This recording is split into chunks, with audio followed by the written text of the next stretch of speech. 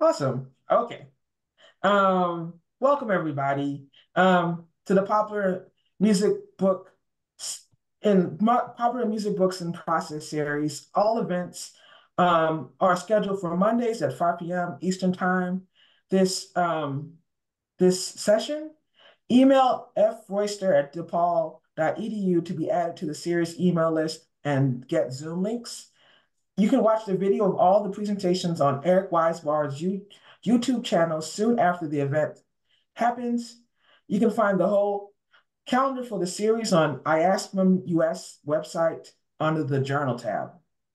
The series is co-organized by Kimberly Mack, Francesca Royster, Gus Stadler, Carl Wilson, with me sitting in for Eric Weisbard this year. I am Antonia Randolph. Eric will join us often as he can um, given the time difference overseas where he's doing the fellowship. The series is sponsored by the Journal of Popular Music Studies, IASPM US, and the Pop Conference. Um, next week we'll have we will have on March 25th Darren Mueller Mueller talking with Nate Sloan about Mueller's at the at the vanguard of vinyl, a cultural history of the long playing record and jazz. But today we have Marc Masters, Jerry Kranitz, Rob Drew, um, with Tom McCourt on cassettes. So Marc Masters is the author of High Bias, The Distorted History of the Cassette Tape um, from University of California Press in 2023. Um, Marc Masters is a writer whose work has appeared in Pitchfork, The Wire, Bandcamp Daily, The Washington Post, NPR Music, and more. His first book, No Wave, was published in 2008. His second, High Bias, The Distorted History of His the cassette tape was released in UNC Press in October 2023. Uh, Jerry Kranitz, author of Cassette Culture, Homemade Music, and the dramatic pause, and the creative spirit in the pre-internet pre-internet age um, from vinyl on demand and published in 2020. Jared is the author of the cassette culture, homemade music, and the creative spirit in the pre-internet pre-internet age. For 18 years, he published the webzine Aural Innovations, the global source for space rock exploration, and the accompanying podcast, Aural Innovations Space Rock Radio. Jerry has written for Shindig magazine, and his essays have accompanied archival reissues of such artists as F.I. and Jeff Carney. Rob Drew, author of Unspooled, How the Cassette Made Music Shareable, from Duke University Press 2024. Rob Drew is a professor of communication at Saginaw Valley State University in Michigan. His scholarship on music, technology, and everyday life has appeared in Popular Music and Society, Popular Communication, Rock Music Studies, Cultural Studies, Critical Methodologies, and the Journal of Contemporary Ethnography. He's the, he's the author of Karaoke Nights, an ethnography of Rhapsody, Altamira, 2001, and Unspooled. And then Tom McCourt, our moderator. Tom is a retired professor of communication and media studies at Fordham University. He's the author of Conflicting Communication Interests in America, The Case of National Public Radio from Bloomsbury, Bloomsbury in, in 1999, and co-author of Digital Music Wars, ownership and control of, of the Celestial Jukebox from Rowman and Littlefield in 2006, and Why Hackers Win, Power and Disruption in the Network Society from University of California Press in 2019. A couple of housekeeping notes. Place your questions or comments in the chat, and Carl will lead the Q&A after the conversation, uh, where he'll ask you to unmute. And without further ado, I'll turn it over to our presenters. Okay. well, thank you all for uh, joining us today. And uh, I guess let's start at the very beginning. I'm curious uh, how uh, Jerry, Marc, and Rob uh, got their interests in uh, cassettes from the outset. Tom, could we say a few words from the? Oh, God, I was gonna. I was gonna read a bit. Sorry. All right. Sorry. Go ahead. sorry. Go ahead. Uh, uh, I'll go after my my esteemed colleagues, but Marc, I think Marc was going to go first. What, what, what, yeah. Okay. Cool. All right. Yeah. I think we're each going to give a little, little, a few minutes of just describing right. what our books are about and what, what we did, and maybe reading a little bit from them. So, uh, so this is mine. It's called High Bias: The Distorted History of the Cassette Tape. Came out on University of North Carolina Press last October. Uh, it's, I guess, it's both the technical, technological, and cultural history of the cassette tape format, but leaning more toward the cultural side. I do talk about how, how the technology developed, but I mostly talk about how it affected uh, music and music communities. Um, so I'm just going to sort of give a little rundown of like the chapter structure so people have a sense of what's in the book. Um, my first chapter is the tech, mostly the technological side, how how the format developed from you know from the beginning of magnetic recording all the way up to uh, Philips and Lou Ottens uh, inventing the the format that we think of as a cassette today, which they call the compact cassette. I also run through a, uh, some of the technologies that developed after that around the cassette, like uh, the boombox and the Walkman and the four-track recorder, all things that uh, really affected the way people listen to and make and, and trade music pretty much uh, all the way up to now even even even for people who aren't using cassettes anymore th those things affected the way they think about music. And my second chapter is about uh, genres that were boosted or even maybe even created because of cassettes.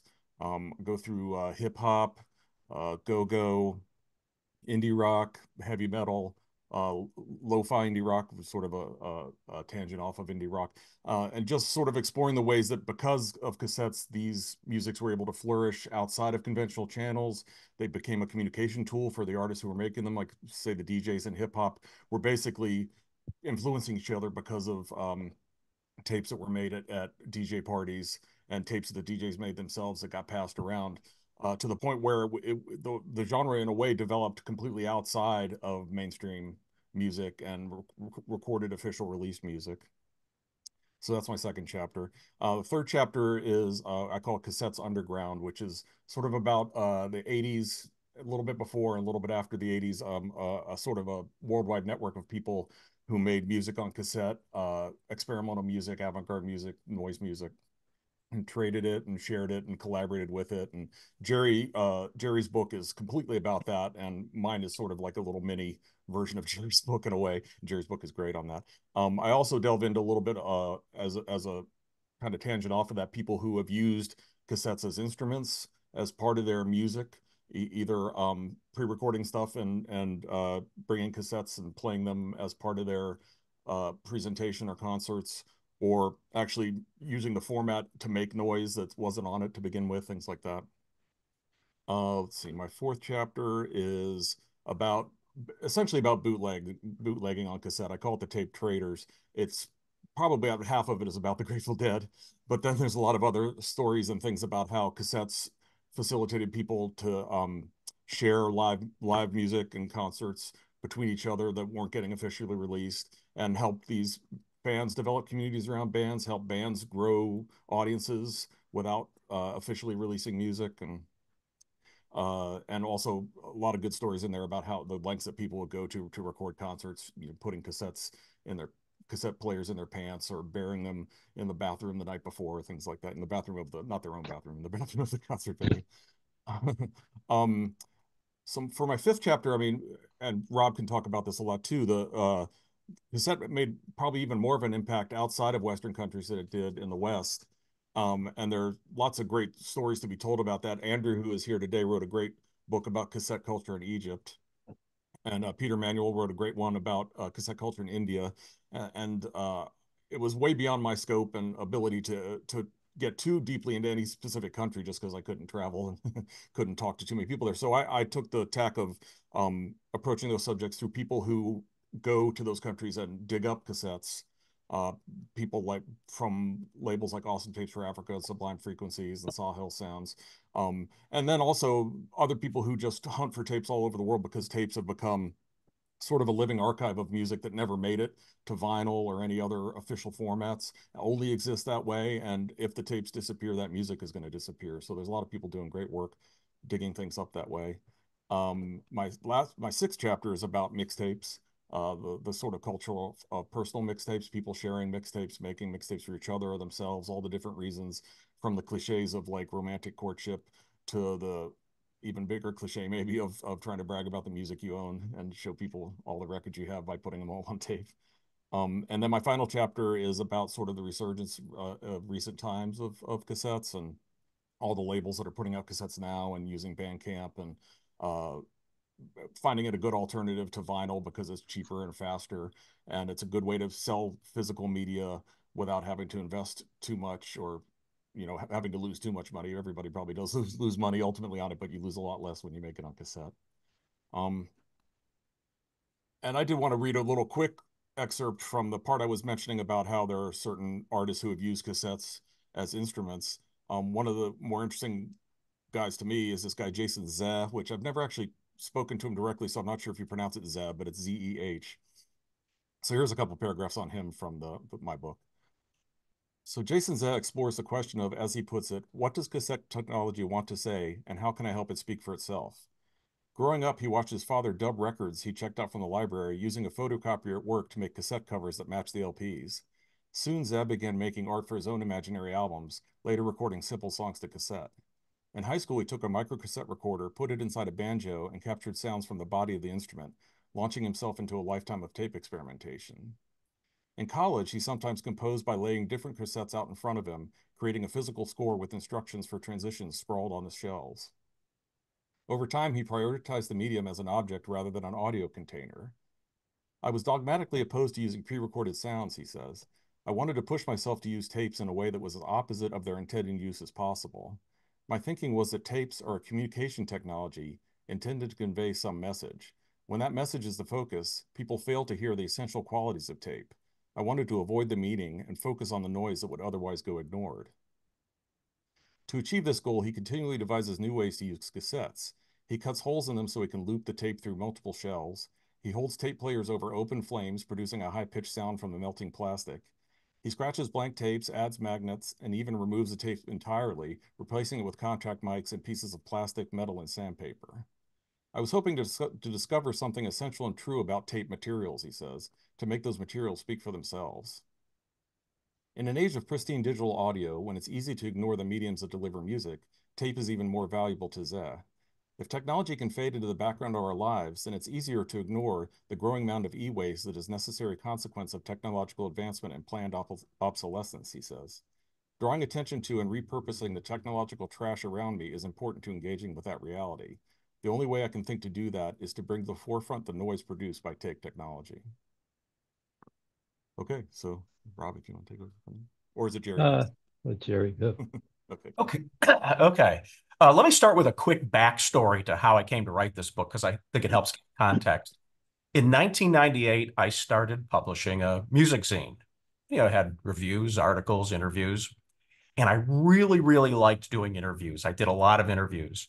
And over time, I started to detect a trend where a lot of the people I was interviewing talked about recording their music and audio art in the 1980s on cassette tapes.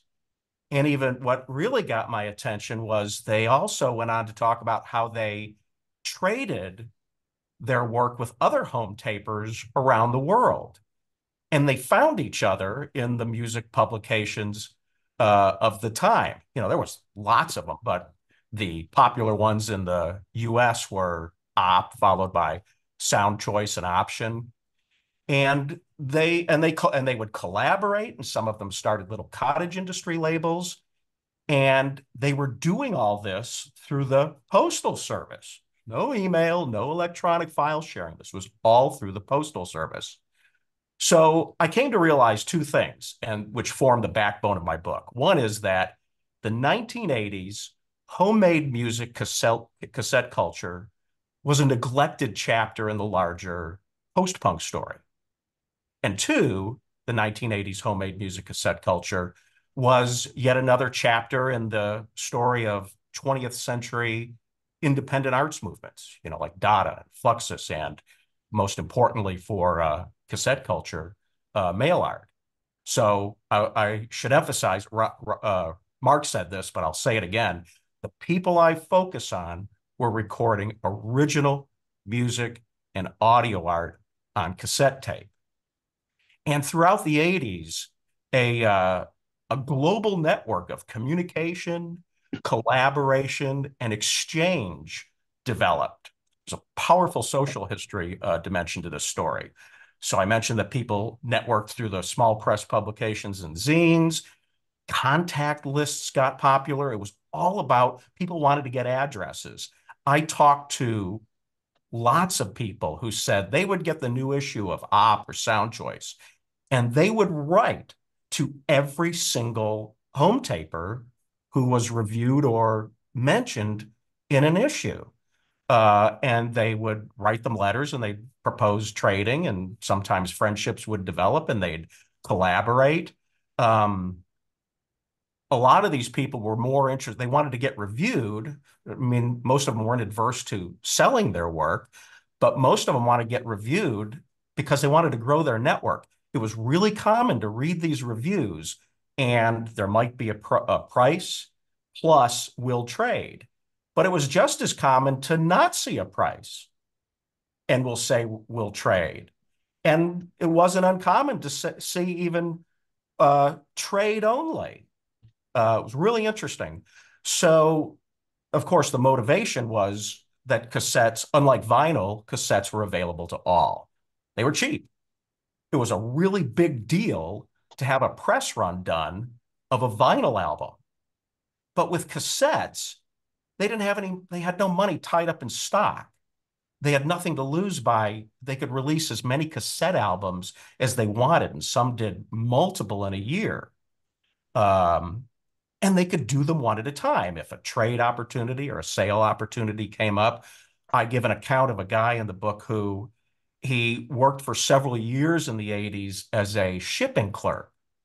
And in his office, he had three dual well cassette decks, and he was dubbing all day long while he did his shipping clerk job.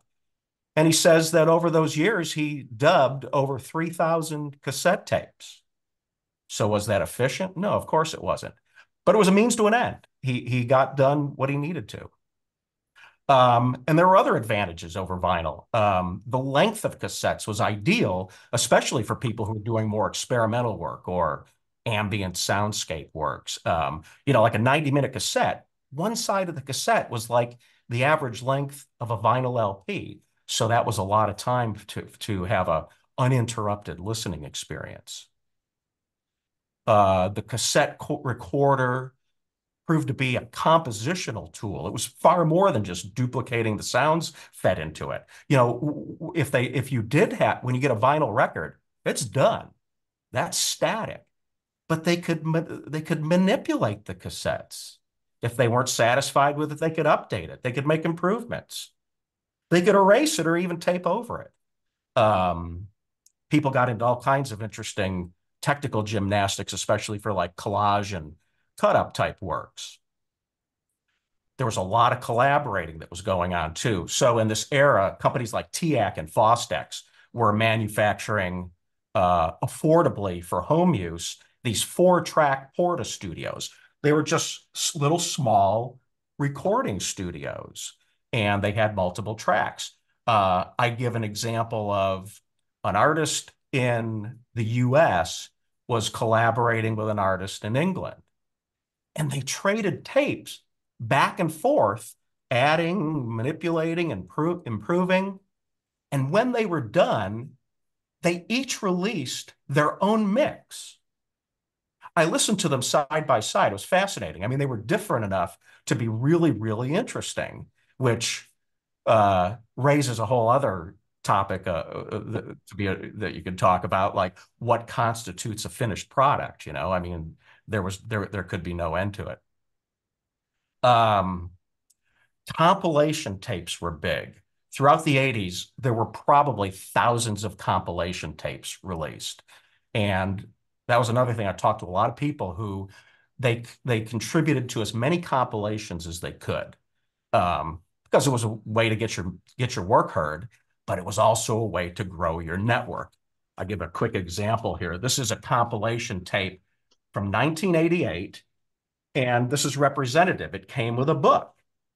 And each page of the book was information and artsy stuff about each of the artists. but crucially, it also had an address.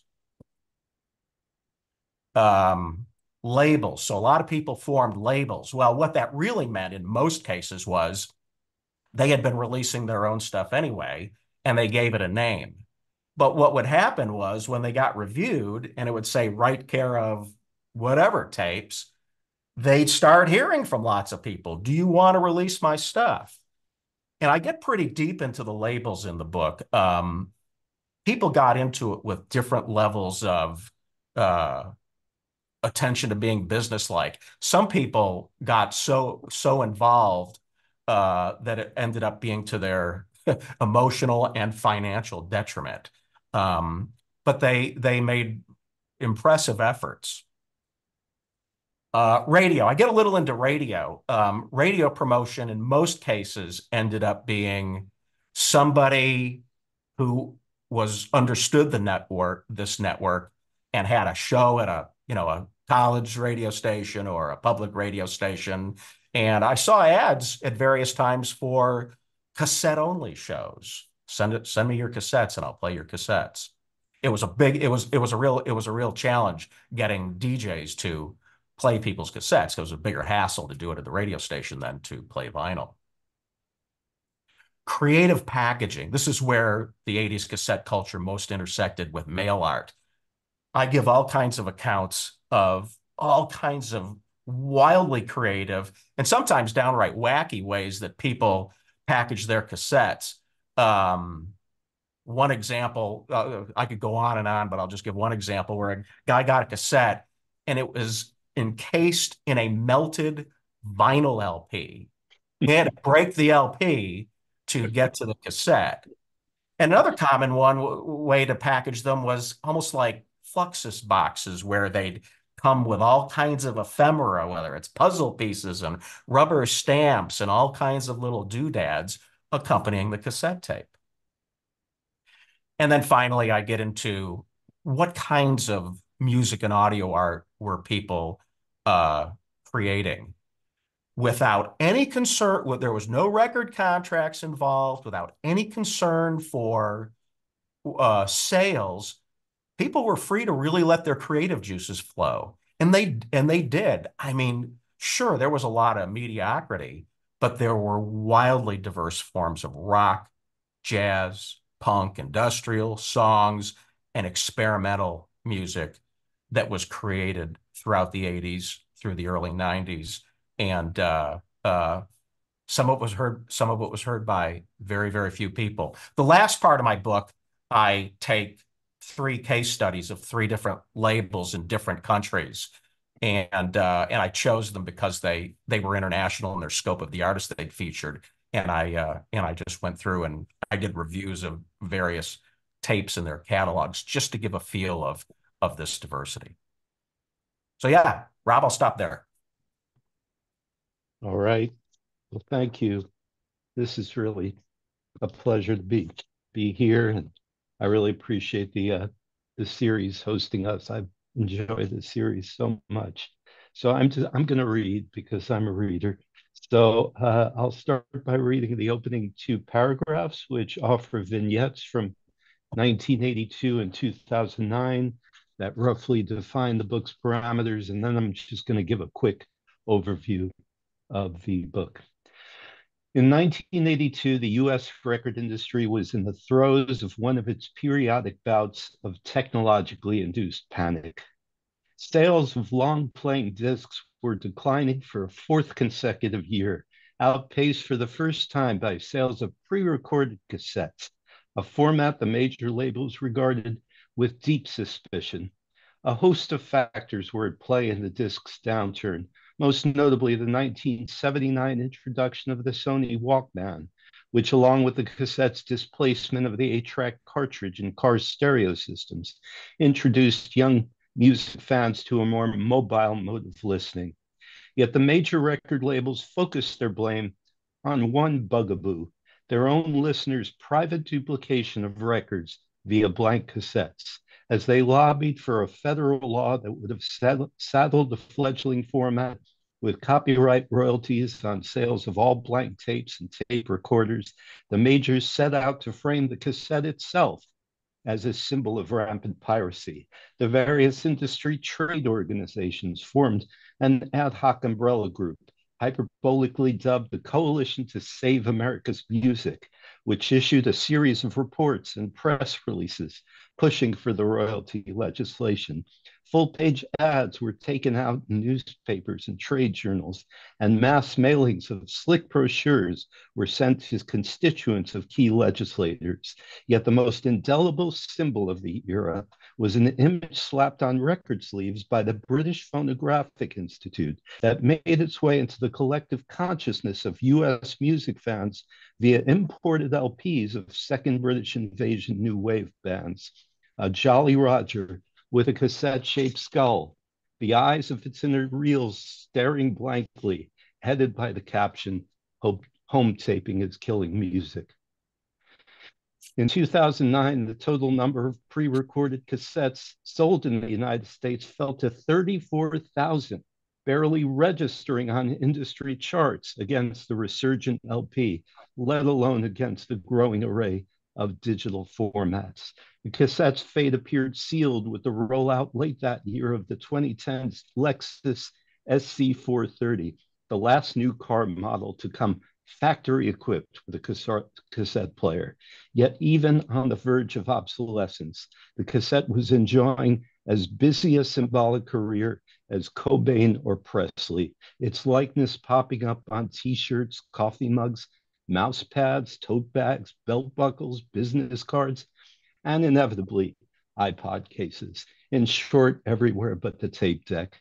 Among a cohort of music fans who came of age in the 80s and 90s, the simple image of a blank cassette rose to the status of a cultural icon, conjuring collective memories of all the music made and shared with the aid of the little plastic cartridge that was supposed to have killed music.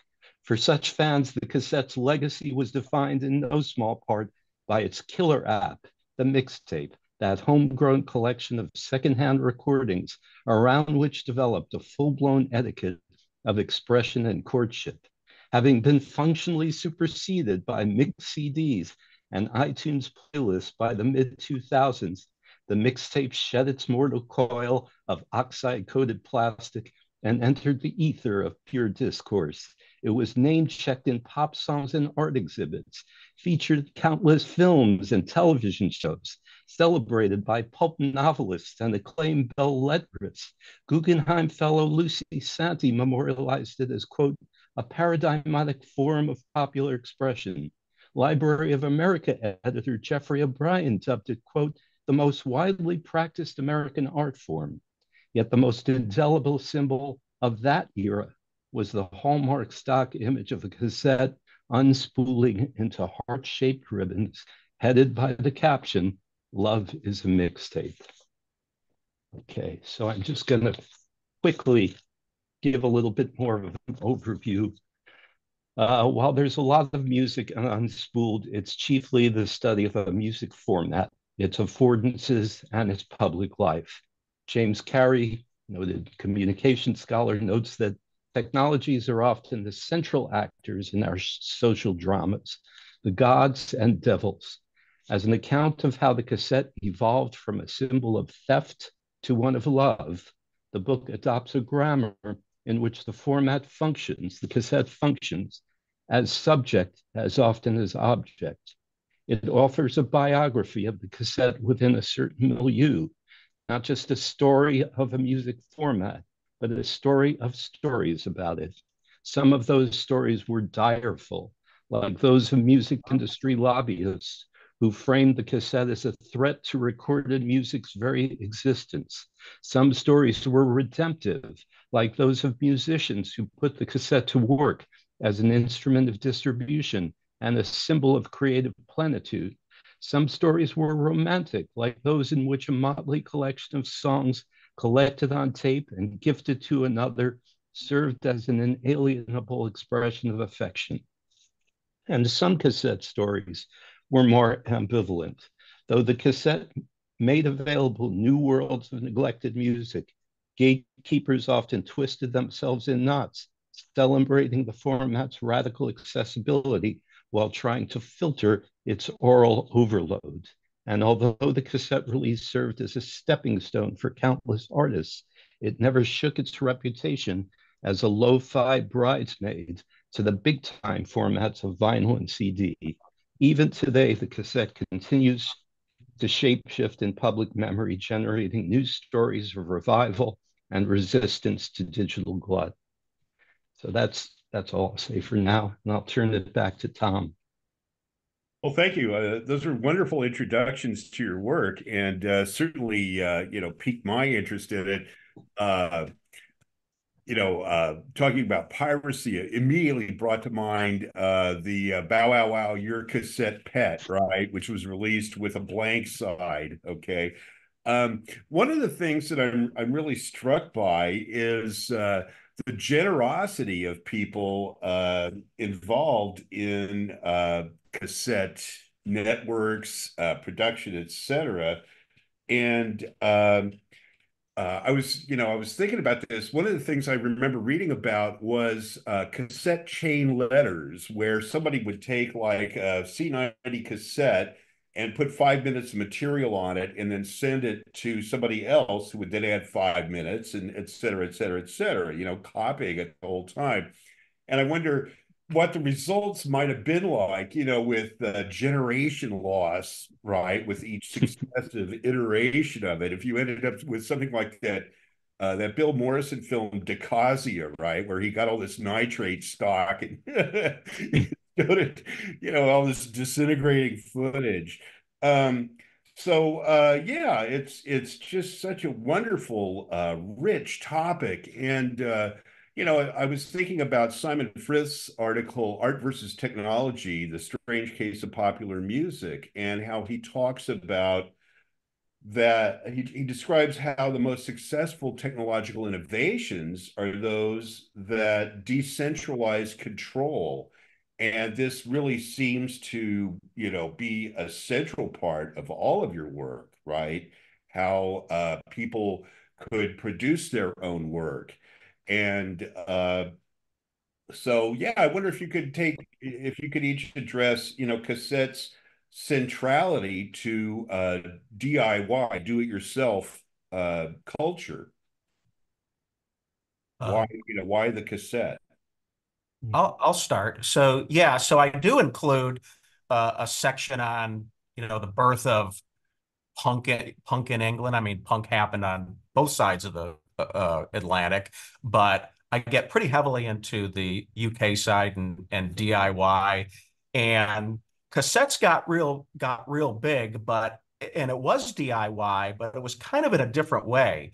The you know England is much smaller than the U.S., but they had these weekly newspapers like Sound, uh, Sounds and Melody Maker and New Musical Express, and there was a short period where they were reviewing uh, just home taper home taper cassettes, but it, it it didn't it wasn't what became the network of exchange uh, that I wrote about. It, it, a lot of people, a lot of English people who lived during that time will insist that cassette culture in England or that flavor of it died around 1980 and then this the network of exchange and recording at home kind of kind of arose after after 19, after 1980 and that's and that makes sense and that made sense with my research because like I, I, think the first issue of op was in early 1981 i believe.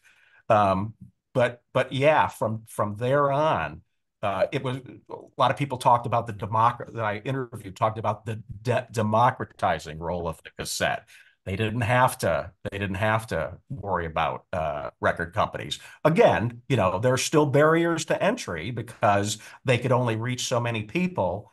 But then again, the whole idea was just to create. You know, anybody can be an artist, and that's the whole. That's where you get into the uh, uh, like Dada and Fluxus and mail art too. The whole heart and soul of it is is just as the cassette culture people issued the record companies, Dada, Fluxus, and mail art you know, issued the uh, uh, gallery system. So it's all about anybody. Anybody can be a anybody can be an artist. Um, I was also wondering about uh, live taping and tape trading, right, for specific artists. It seems like a kind of prescient form of uh, viral marketing. And, uh, you know, if you had nothing to offer, right, how would you get involved in this? I mean, I remember drawing from the dim recesses of memory uh, the whole blanks and postage thing, right? going on Usenet, for example, and uh, the group Rec Music Bootleg, and somebody would tape a concert and make an offer for uh, blanks and postage, right? You send me blanks and uh, and some money for postage. I'll copy them and send them to you. Um, you know, uh, I was wondering to what extent does that still exist?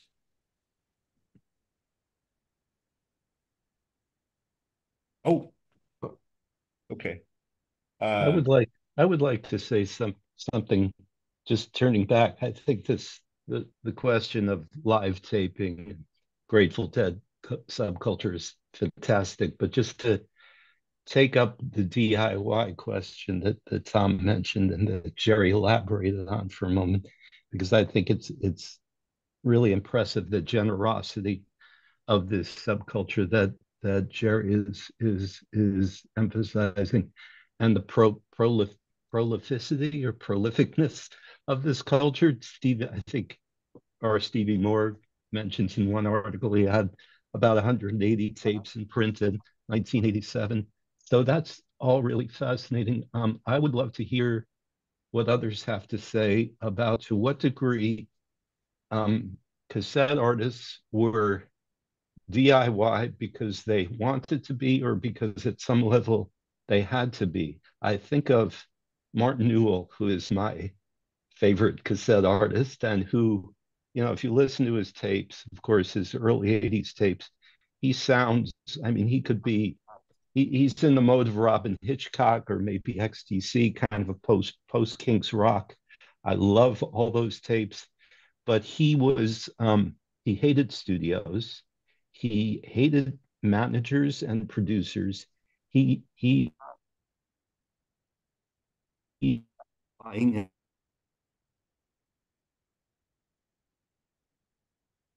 hear me all right?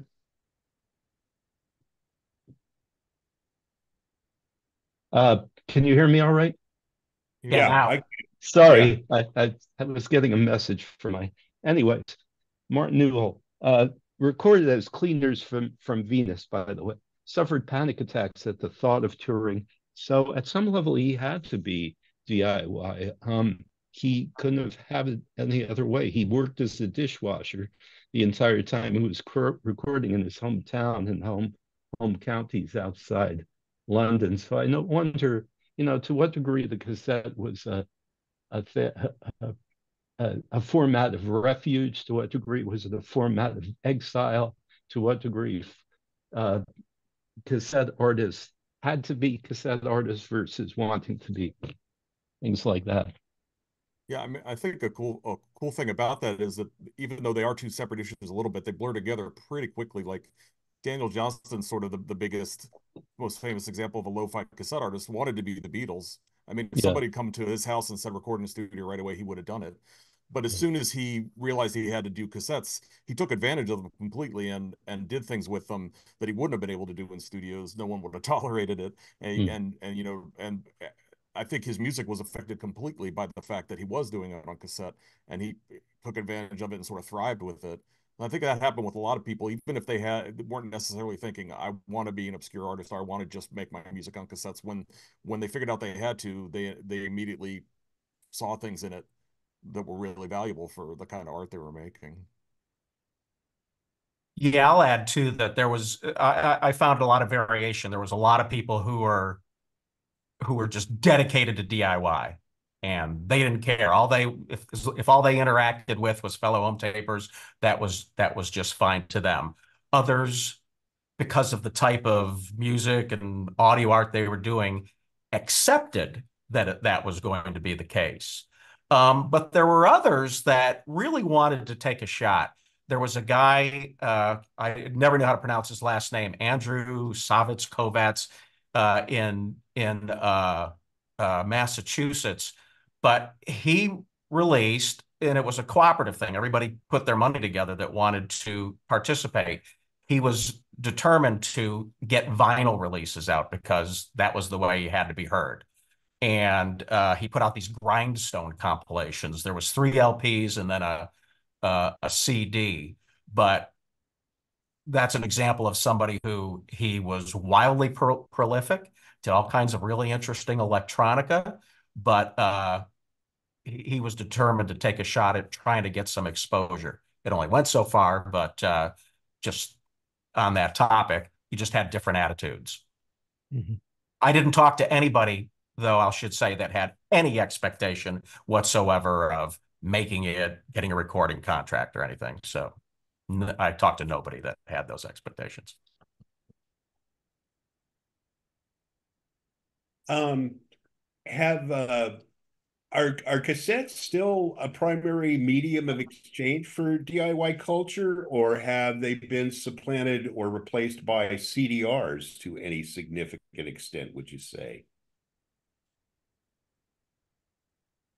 Uh, the I people I, inter, the people I'll, I'll, just say real quick, the people I interact with that are holdo that still plug away and who are around in the 80s, uh, some of them have done cassettes, very few of them though. In fact, uh, very few of them do CDRs anymore. Most of the ones that I continue to communicate with have gone mostly digital.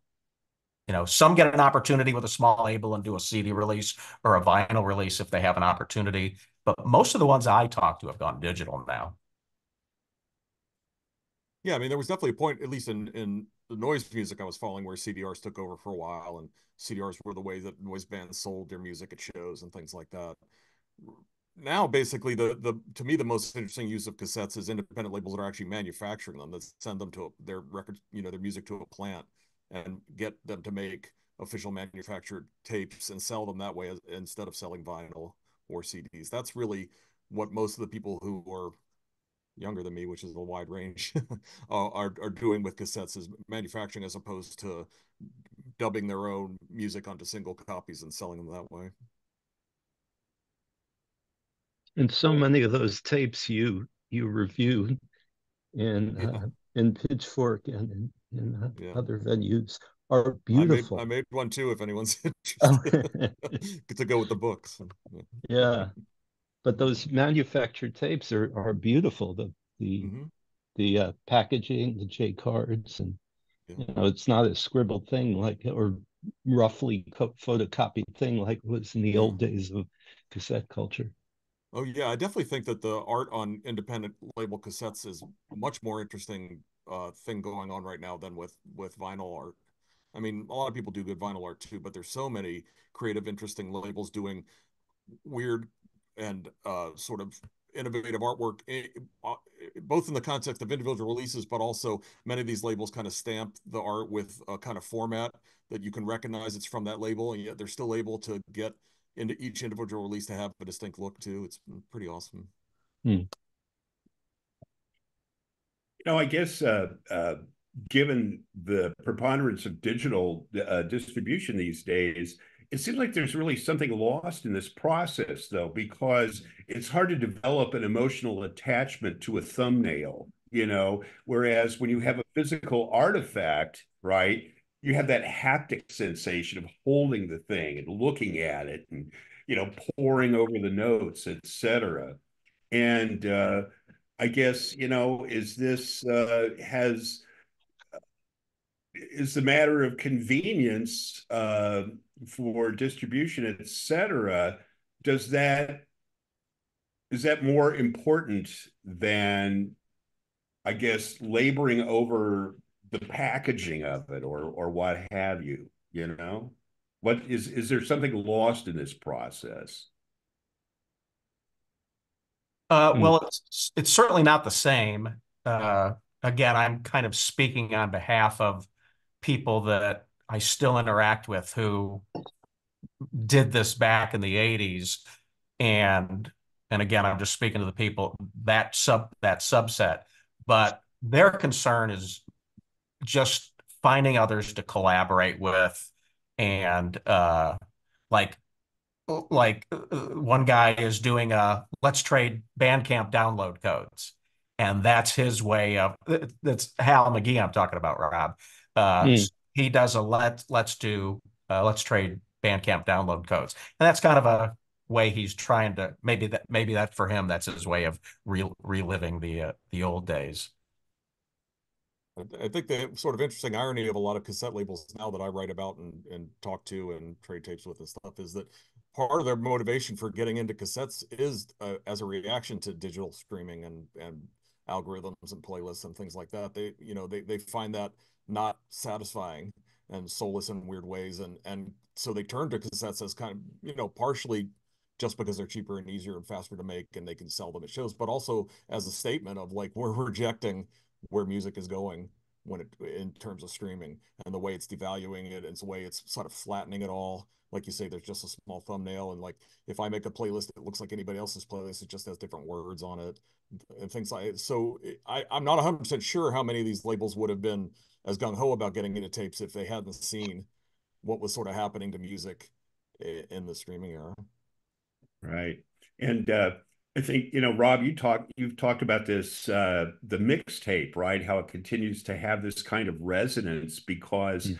the process of making a mixtape for somebody is a real time process. You know, it's not a matter of grabbing, grabbing and dropping files. You have to queue everything up, right? You have to uh, make sure that uh, the segues work out properly, and then uh, you know, there's creating the cover for the thing. I remember uh, how delighted I was back in the late 70s to discover press type. So I didn't have to subject my illegible scrawl. Mm-hmm. Right? Um, and so that still has such, you know, has such meaning, you know, that people, even if they've virtually gone all digital, they probably still retain their mixtapes, right, as souvenirs. Yeah. Um, there's an irony, I think, in the fact that and other and Marc talks very uh, extensively about this revival, as he said uh, in cassette releases. There's no re- revival in mixtaping. People aren't making mixtapes anymore that I know of. Nobody's giving them to me anymore. At least uh, people make playlists, and yet the mixtape, the idea of the mixtape, haunts a lot of you know, playlist making and all sorts of digital collections. People are always saying, Spotify is saying, oh, look, I, we discover weekly. It's like getting a mixtape from us every week or something like that. You see dozens of these quotes, and I think there's a real kind of pining, pining for that, that labor of love that the, that that the mixtape was. I didn't get to talk about the beginnings of my project. I really did start interviewing people about mixtapes about the mid noughts, about 2005 or so. And that's when just the people were just over the mixtapes and moving on to mix CDs. And I could almost see in slow motion or hear in slow motion in these interviews the way that the mix CD moved very quickly from kind of like a tape with a, a thing with a meaning and with a fidelity that wasn't supposed to be broken up or disaggregated to just a kind of temporary host to get music from one person's hard drive to another. And you could just pick and choose and add it to your library and listen to what you want. So i think we pined for the sense of a captive audience right? The sense of captive listeners and the sense of closing off not just all other music but all other people except for me and you who are sharing this sharing this mix. I uh, I see that we're rapidly approaching the time for uh, Q and A, but I do want to uh, go back very briefly to uh, the subject of uh, live taping and tape trading, uh, because I re I remember how important it was to track generations, right? And so you kept trying to get closer and closer to that first generation, right? The original artifact, the recording itself. uh, because of uh, generation loss, et cetera. And uh, you know, there's a, there are many accounts of the difficulties of uh, of recording live shows. I was wondering if more and more artists are realizing that this kind of thing does serve as an effective form of viral marketing. And if, I, I also think some artists at their shows are offering uh, CDRs of the show, right? As soon as the show's over, they burn the thing and make it available for sale. And if that is any kind of a revenue stream, or if that's still any kind of a, a, a real specialized sort of item. Yeah, not that I know. I do remember bands doing that maybe 10 to 15 years ago. That was, and clubs even were starting to market that a little bit. That idea that your ticket included a CDR at the end of the show. But I haven't heard that much about that recently. I'm not sure that anybody's doing that much anymore. I, I, I am relatively clueless about if any uh, touring acts, especially on the larger size, are encouraging bootlegging or or you know file trading or anything like that. I'm not really sure. I mean, certainly the the acts associated with that with that before, like Phish and Dead and Company, are probably still doing it. But I I don't know if anybody uh, else is. I, not something I know about, unfortunately. Okay. Since we're on the topic of live taping, I would like to put in a, a plug for a book that recently came out on Duke, uh, Live Dead uh, by John Brackett, which looks at the evolution of the, the Grateful Dead's recorded live sound and how it worked in kind of tandem or interaction with the tape traders. And so how they moved from all the overdubs on their early live records like Live Dead in Europe 72, more towards something like Dick's Picks that sounded a lot like, like an audience tape. And if I could, just as long as I have your attention, in addition to John's book, there's two other books I need to mention because this is a renaissance we're experiencing in, in research about formats and about cassettes in particular.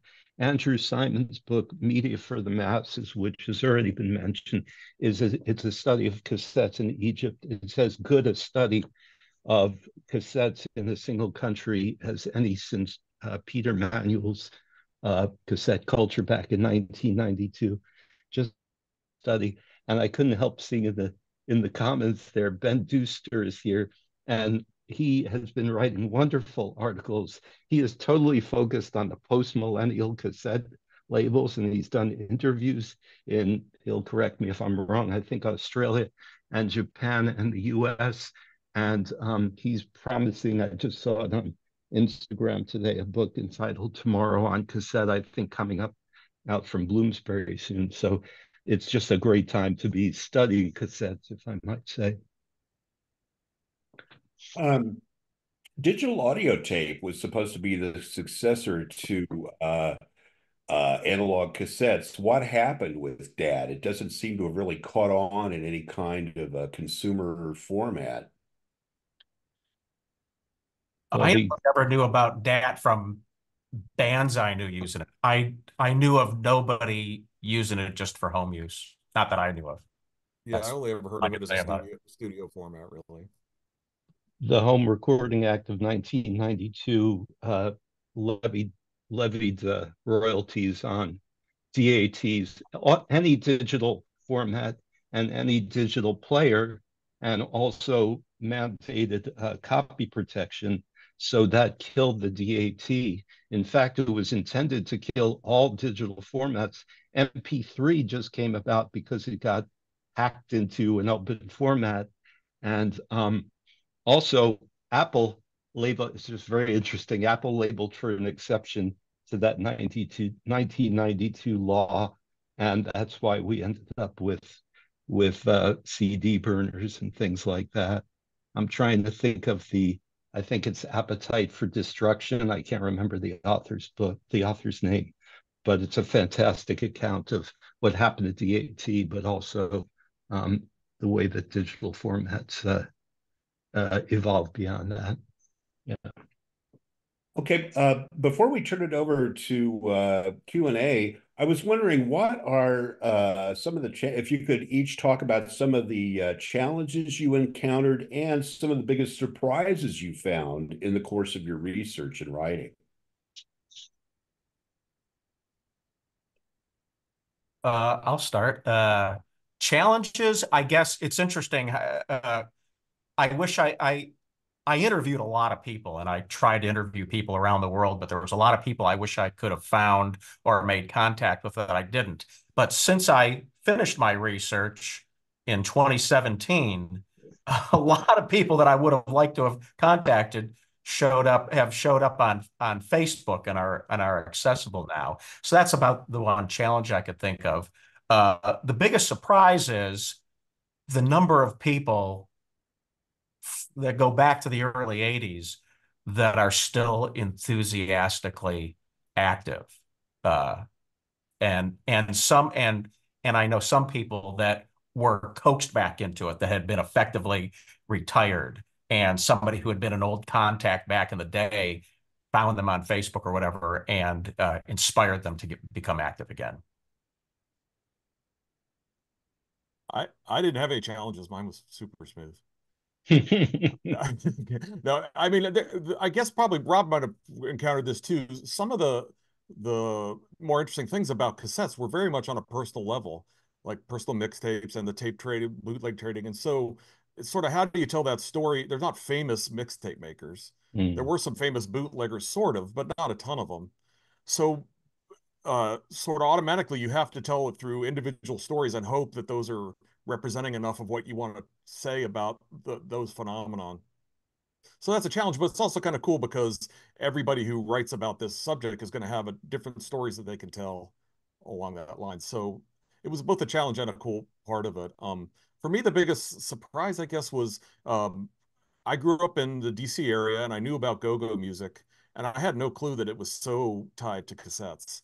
Um, there were there were stores you could go to in DC. I'm for, I was too young to know about this, but you could go to a store and say, "I want to hear a Trouble Funk concert from last month and uh, Experience Unlimited concert from a year ago on one," because and they dub it for you, and they'd have a book full of them that you could get any kind of show you wanted. And mm.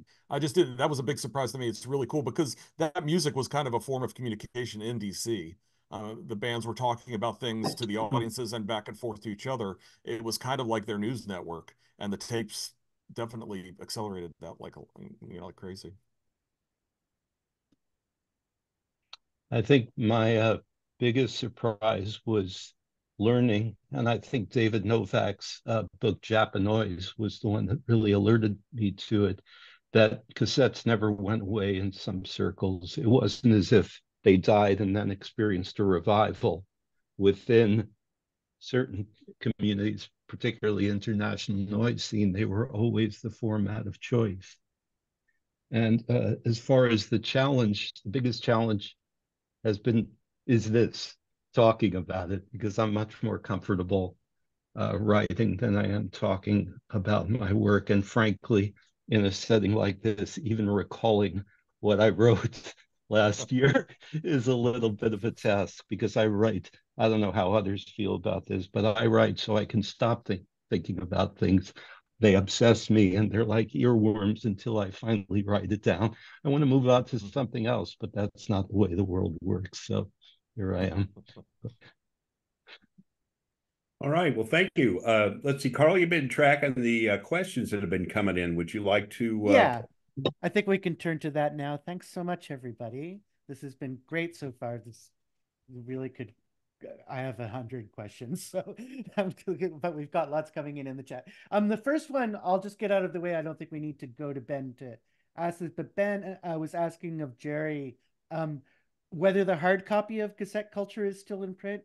They're saying that the only the ebook version looks readily for sale. Yeah, the hardback is sold out. It it's a long story, but the publisher uh, does small does small runs and it's sold out. So only the ebook is available now. Okay, great. Thanks for clearing that up. Um, and now a, a, a more um, further reaching question from um, Ben Duster. Do you want to um, do you want to um, unmute and ask your question?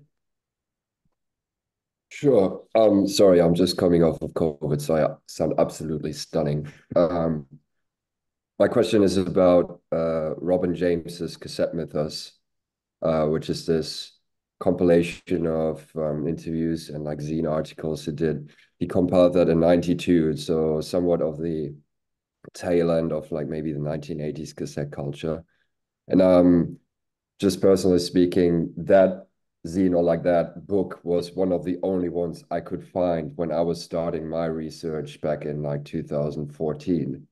Um, so I was curious to hear if that was on your radar, how much of a resource it was, and maybe if you have talked to Robin about the project in person. Thank you. Uh, it was definitely on my radar. In fact, I I I got to know Robin pretty well, and for uh, he lived here in Columbus, Ohio for a while, and I was even the he, he he didn't have he was on the move and living a gypsy life, and I was got to be the caretaker of his entire cassette collection for a while. Uh, I go on about the kid and kid in the candy shop experience that was, but yeah, when I started doing my research, as far as I could tell, that was the only book that had uh, addressed this homemade music cassette culture network that I wrote about.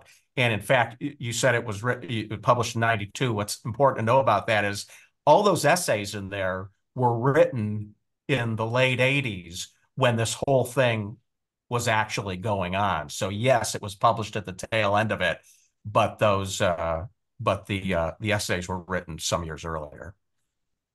Yeah, I, I, love that book. It was a great source to use. I, I interviewed Robin as well for mine, and and some other people who had written essays in it. And yeah, it's it's excellent, and and it's it's cool that it's sort of just essays. It's not an overarching narrative, though. He and Hal both have times in there where they try to make bigger points about the whole cassette culture scene. Um, the interesting thing is, so um, Jerry just uh, referenced uh, uh, Robin's tape collection. Robin eventually sold a lot of his tape collection to uh, Jed Bindeman, who's in my book as well, who's sort of a tape hunter himself, and has this great Instagram called Concentric Circles, where he po- he whenever he finds a rare tape or a tape that not necessarily rare, but just no one knows about, he'll post it and write about it and and uh, include an audio clip. And uh, so he's probably the best possible person to have Robin's collection of tapes.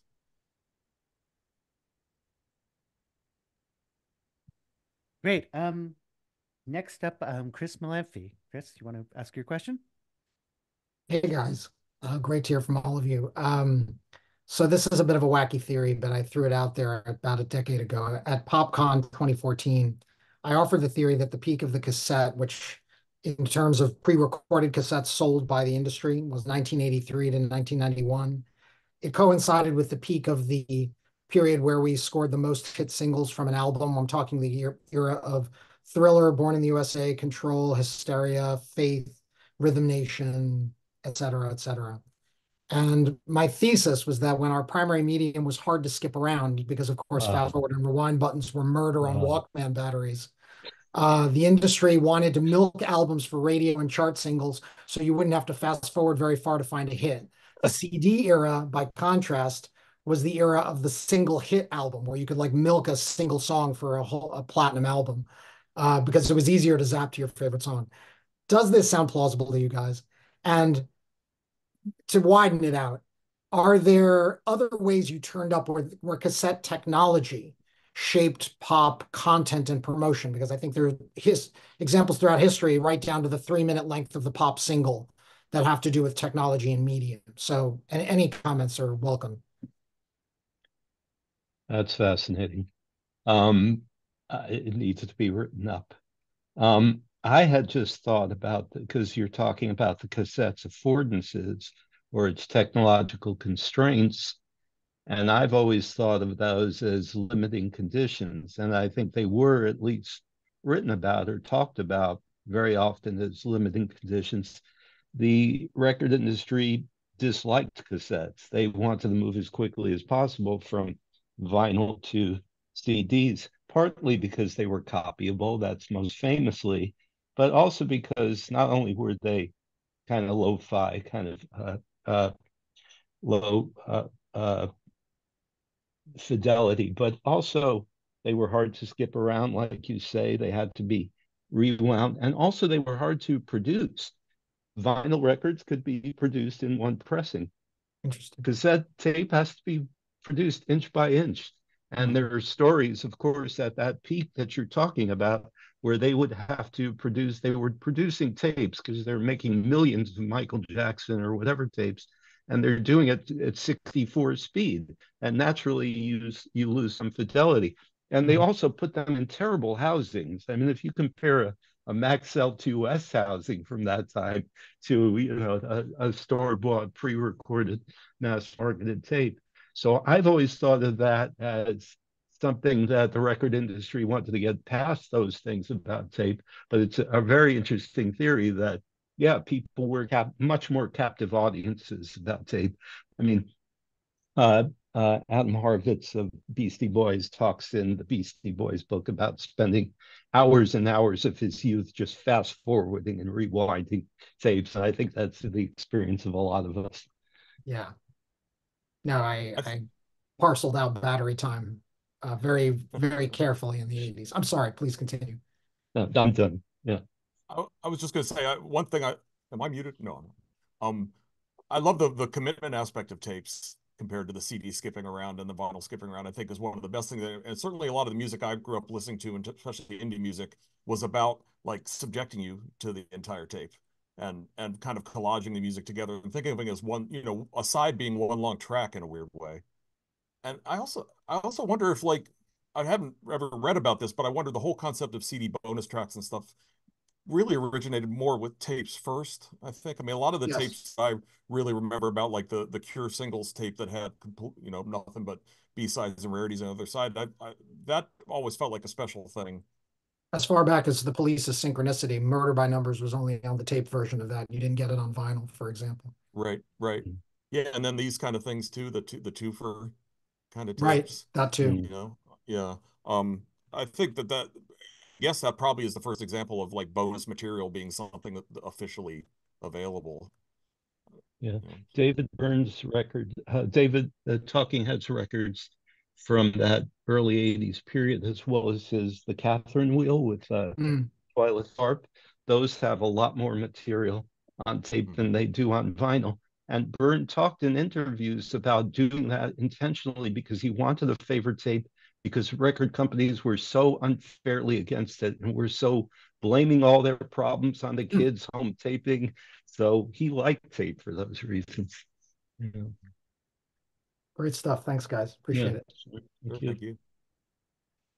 Yeah, it's funny when you were talking about that. I was thinking of the, like the the phenomenon of the hidden track, which really could only happen on tape, and it was like a test of mm-hmm some kind of listener worthiness that you would like wait through two mm-hmm. minutes of silence for the hidden track to come up. Mm-hmm. Um, so I have a question next. I'm um, sort of moving from Chris's 80s question to a 90s question. There was kind of a mid 90s moment after Nirvana broke and after the kind of major label feeding frenzy on indie culture at the time, where like the new alternative kind of became a development from 80s cassette culture in a way. It was this kind of home taping culture. I think particularly of like the artists on Shrimper and other labels like that. And, uh, you know, so like Folk Implosion and Guided by Voices and the Mountain Goats and Smog, this kind of lo-fi movement that in some ways like encoded a paucity of recording technology into the aesthetic of it. And I I was curious both what parts of the cassette culture ethos were honored by that and and what were sacrificed and similarly like what effect that had on the more under, underground cassette network when suddenly there were people kind of breaking through you know and you mentioned daniel johnston earlier as another example. So i'm just uh, curious of thinking about that moment in cassette culture's life.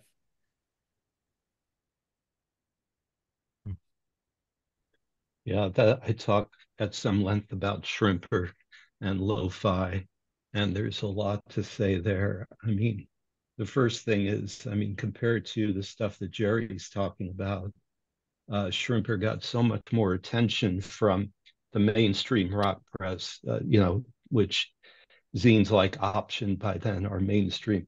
So there's a lot of art, and I think just the curiosity of working bands like like the Mountain Goats or or you know Lou Barlow or various acts, Sebadoh from uh, Sentridoh slash Sentridoh. Um, going to cassette as a medium of choice was confusing to people and they wanted to know why. And it was sort of homologous with the with the lo-fi sound. Um, I think by then, at least for certain people, certain John Darnielle, or I never interviewed him, but from what I read, and he could speak to it more than certainly more than I did. But I think it became a, a more of a symbol, less of a practical thing at some point, and more of a, a symbolic gesture. You know, sticking with tape and sticking with this lo-fi, fi, uh, uh, format precisely because of the connotations it had, it had gained over 10, 15 years of use. Yeah, I mean, it's interesting how cassettes, the sound of cassettes kind of dovetailed with the whole 80s and 90s idea that it's selling out to go to a major label. It's also selling out to sound better than a cassette in, a, way. And mm-hmm. um, I mean, I, I one thing I never really thought about until I wrote the book, and uh, really after the book, because I didn't mention it that much in the book, is this weird way the cassette sort of flipped authenticity, at least in indie scenes. Because if you think of technically the idea of authenticity is the most authentic recording is the one that sounds the most like what's being played, right? So in a studio, you're getting more of a direct signal from the instrument straight to the tape in in a on, when you're recording on a four track or a boombox, you're getting a lot of stuff in between hiss and decay and weird stuff. But that sounds more authentic because there's less people in between you and the artist, even though there's more noise in between you and the artist. But there's nobody sort of gatekeeping that music or telling the artist how how they should record. Generally, there aren't. So a, a hissy tape actually weirdly sounds more authentic than a high fidelity recording. Yeah, well, and it, it kind of fetishizes a certain kind of amateurism, even if that amateurism is is a bit of a pretense, right? right, right, totally. Jerry, just following up on that for a sec, did was there any sense of that being a moment when, you know, the that the culture had gone overground, and was was there any sense of betrayal in that kind of sense of oh now everybody's talking about homemade cassettes or whatever? Yeah, not with not with the not with the subculture of people I was wrote about and interacted with. I learned, to be honest, I learned more about the labels you guys are talking about from Marc and Rob's books than I than I ever knew before. Now, the people I wrote about, they either took a step back or they just moved on. Uh, as some as as one guy said, uh, the cassette never died; it just moved on to the next format. Right. Yeah. Um, Antonia, yours was a comment, but I wonder if there's a way to make it into a question because I feel like the question of hip hop DJ mixtapes is a thing that we should be addressing in this session. Um, sure. I mean, I think that the question underneath that is um, something about the genres that are made possible by cassette culture and um, DJ uh, mixtapes um, where the person's whole career is making mixtapes. DJ Drama, but Kay Slay and DJ um, Clue, all these hip hop artists who make mixtapes, but then um, people, uh, uh, more recent generations don't know what a tape is. And so I don't know if that same sort of music can be made because that the format has gone away. So is there a way that the decline in mix of cassette tapes takes away certain sorts of some certain genres of music.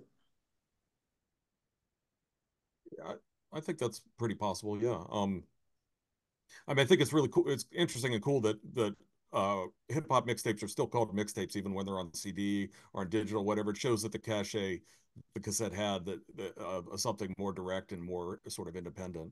But um, it's interesting you mentioned DJ Clue. I mean, from what I researched and wrote about, he was kind of a turning point in which mixtape hip hop mixtapes became about having the most recent tracks. They were like playlists. Like like the uh, he would he would be able to get early on a studio recording of something that hadn't come out yet and put him on his mixtape and he was that's what purpose his served whereas early dj mixtapes were really about the art of djing i mean the music on there was important but it was the break beats and the mixing and that and that's what people wanted to hear. Some people had heard the music before. They wanted to hear what Grandmaster Flash or Brucie B or whatever could do with the different songs and could how he could mix them and break them together. And and the other DJs wanted to hear that too because the styles were. I think I have someone quoted in my book who said like you're when mixtapes were really going around, if you came up with something new in your set, it would be in someone else's set within a couple days, usually. So I think that was that kind of thing went away even before tapes went away when it became more about just previewing new music.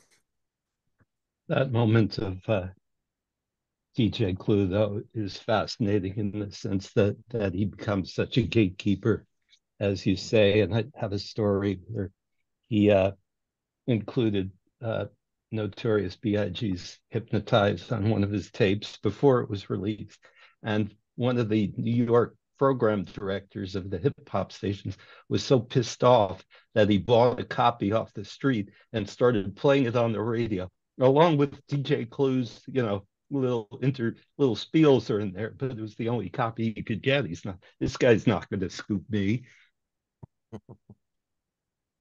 yeah, I think about um the idea of Raekwon's purple tape, the first pressing of Raekwon's only only built for Cuban Linx. The tape version is revered, the purple tape. So yeah, the the rarity of that. Thank you. Hmm. Yeah, and it you know it's cool. Like it feels like for a long time too. The other thing that DJ mixtapes did was um, you could get put tracks out that you couldn't clear the samples for, and that was a way mm. to like get those things out. Um, we have a question from Andrew Simon next. Hi, everyone. Uh, thanks so much for this brilliant discussion. Uh, I enjoyed it immensely. Uh, returning to your opening remarks, Rob, I must admit that the case of my iPhone is a cassette. This is something that I purchased off of Amazon after I saw it on the HBO show Rap Shit, which came out two years ago um, and as part of this cassette revival that you were discussing. Um, I have two quick questions um, for everyone. I'm curious what you all see as being the cassette's future and what you make of recent efforts to preserve and popularize cassette recordings really from around the world in digital archives. Um, Syrian Cassette Archives, a number of other initiatives come to mind. And then, is there a story uh, about cassette culture that didn't surface in your respective books uh, that you wish could have been included? Thanks so much. Uh, I'll start by uh, mentioning you. You said one thing, Andrew, that prompted me to think about. So the so the company that published my the hardback version of my book, they started as a reissue label doing these elaborate vinyl box sets of these 80s. Well, they even went. Someone went back to the late 70s. These 80s artists, a lot of whom I wrote about. So that's how they got. What's that? This is one of them, the vinyl on demand. Ah, yeah, yeah, yeah, yeah. yeah. Vinyl on demand, right? Cassette um, on vinyl. Cassette yeah. on vinyl now. As far as the, and I'll just say briefly, as you asked about the future of the cassette, I, uh, I, am going to introduce a little bit of cynicism. You know, when, whenever I, you know, many albums I buy these days, and most uh, cassettes I buy, and most cassettes I buy these days my favorite local record store, the the guy that runs it knows me as the guy who likes weird stuff. And whenever he gets cassettes in by a local or regional label, he'll message me on Facebook and I'll go and buy them. But they invariably include a download code. uh, so, so I'm, I, I, didn't, I've not talked to the to this this generation, and uh, uh, you know, Marc and Rob get a lot more into that than I do, but uh, I, I wonder about the motivation when I see the download code in there. So that's my answer about the future. Uh, there's a lot of debate about whether, to what degree, these new tapes get actually listened to as opposed to being, I don't know, to be cynical, to being Instagram father and containers for the download code. Also, in some cases, just a, a, nice thing to do if you're at a show and you want something that'll fit in your pocket and you want to help the band. It's just a nice form of, of merch to get. But I think Marc could talk to that more than me to what degree. I listen to tapes, but I listen mostly, quite honestly, to tapes I have from from the old days rather than new tapes. Yeah, I mean, I, I, definitely think that there are people who buy cassettes and don't play them and and download use the download code. Um, but I, I, don't think there's anything wrong with that necessarily. First of all, it's very hard to find decks now as it is. But but also, I, I, think you know it's it's to support bands. It's to get something um, tangible rather than you know and and and not to you know just give them a penny per stream or way less than a penny or whatever. And, and I, I think it's become sort of a hybrid object. It, it symbolizes both something, maybe maybe nostalgic, maybe not, but it also symbolizes continuing to support artists with physical media. We haven't really figured out a way to support an artist well directly through digital media. Buying buying MP3s is good, but still, I think physical still does something that that doesn't do. Um, the the one question you mentioned about cassette culture and stories not being good. I have a couple of those. Um, I mean, I, I kind of wish that I had figured out a way into new age cassettes. I, I, I wanted to include that in my chapter about genres that respond by cassette. I just the little bit of digging didn't turn up anything that made, made it feel like I had a story there, but I'm sure there is one there. Probably somebody should write a whole book about that eventually. Um, and the great thing about the subject though is that it does keep. I mean, there were so many people doing it in the 80s and 90s with so many different ways I mean, I I don't know if you know Linda Smith, the independent artist who was a big mm-hmm. cassette person, and I just unfortunately I don't know how I missed it. I just recently found out about her, and it, mm. she certainly would have been in the book if I had known about her just a year earlier or something. And and the thing is, that's always that kind of thing's always going to pop up. And it, sometimes when you write a book, that's kind of for on a finite thing. That's a little painful to find out somebody you missed. But the great thing with cassettes is there's just always going to be somebody we missed in a good way. That's what makes them so such a rich subject, I think. Say, Marc, I'm just wondering, based on Andrew's question about digital archiving, the sort of tape, the tape hunters who you talk to, are they involved in digital archiving of some of those collections? Yeah, well, I mean, Mark, I think it's Jurgis or Gergis who who's involved with Sublime Frequencies has um, the Syrian cassette archives that he the, the website he's been put up based on all the cassettes he's collected over the years. He's slowly digitizing them and putting artwork up and things like that. Um, so that's that's one example. I mean, in many cases, their their way of archiving is putting these label people who are finding them is putting the music out on vinyl, so that people will buy it and they can reimburse the artist mm-hmm. and things like that. So it's not quite the same, that's that's part of what's happening too. Um, I'm going to jump in here and just try to get one last question in before we go, and that's from Elena Razlogova. Elena, are you still with us? Yep, I'm here. Um, thank you very much for um, wonderful presentations. Um, I'm wondering about specifically the period of late 80s, early 90s, and the relationship between cassette culture and the early internet, and I think about I put two examples in the um, in the chat. There's uh, there was this um, uh, early um, site Internet Underground Music Archive, which was started by rockers who were also tape traders. Then the Grateful Dead, which already came up.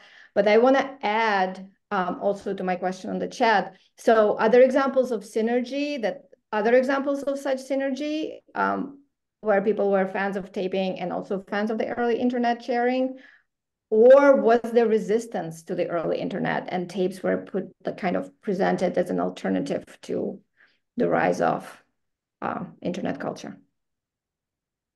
Uh, i'll say that i end my story precisely at the time you're talking about you're talking about.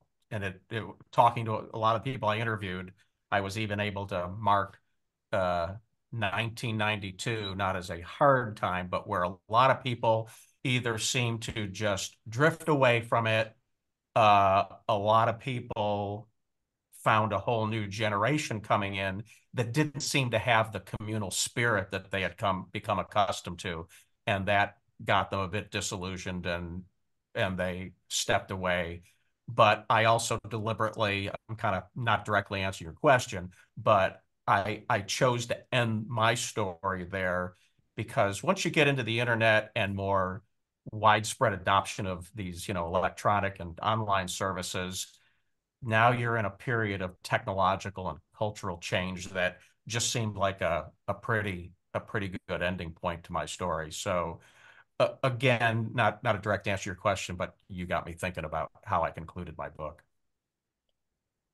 Rich made a good point in the chat, and, and Jerry knows about this, that a lot of like Hal McGee and a lot of the other experimental cassette artists from Cassette Culture are putting their music up on Bandcamp and archive.org and things like that. So they're definitely open to the internet in terms of, of it being a tool to spread their music around, you know, just as fast as they could on cassette. I, I think one of the kind of interesting things is I, I'm not 100% sure how many people from the cassette cultures were uh, resistant to the internet versus wanting to jump on it right away. But I do, I have noticed sort of the younger generation who came up at the point of the early internet found out about tapes that way they often. Like like Brian and Noah from Animal Collective got into trading Grateful Dead tapes because they saw them discussed on online forums. So that's a kind of weird, like I said, backwards hybrid of that whole thing. I was going to say the first thing that came to mind with your question, and it was I think an article I read by you. So that doesn't help at all. Um, just the thought, the idea of people at FMU, which I know you're writing about, uh, being sort of project, um, anticipating online uh, music sharing and sort of offering in some ways some of those DJs and people that you could speak to it more than me uh, as a continuous line from cassette culture to to to online file sharing. I will also say our moderator Tom McCourt is the biggest WFMU fan in the world, so he's going to be really excited about your work, as you could see from his T-shirt. That's true. Yeah. yeah. Thank you so much. Yeah. Great. Well, we're going to have to leave it there. Um, I just want to thank all of you. Um, this this conversation really could have gone on for another couple of hours, and um, and it's just been a delight. And um, want to remind everybody that next week at the same time, next Monday, we have um, sort of a sequel or a prequel, actually, to a discussion of formats and technologies um, with Darren Mueller here to talk about his book about the long playing record in jazz with Nate Sloan. Um, so we hope to see you all again next time.